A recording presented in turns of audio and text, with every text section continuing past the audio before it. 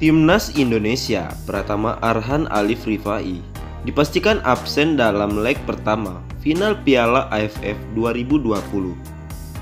Dikarenakan akumulasi kartu asisten pelatih Timnas Indonesia Novrianto mengkonfirmasi pelarangan tampil bagi RH dalam laga yang berlangsung pada tanggal 29 Desember 2020.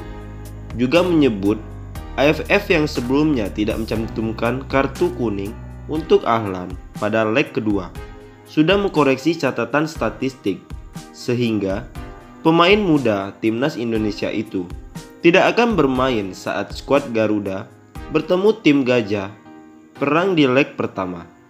Pertandingan sebelumnya dalam catatan statistik tercantum Indonesia hanya mendapat satu kartu kuning atas nama Fakrudin Wahyudi Arianto mengacu pada leg menit berbodi. Pertandingan di situs resmi AFF juga tidak ada keterangan kartu kuning untuk Han. Namun seperti dikatakan Nova Farhan sudah dipastikan absen dan AFF sudah mengoreksi kesalahan pencatatan soal kartu tersebut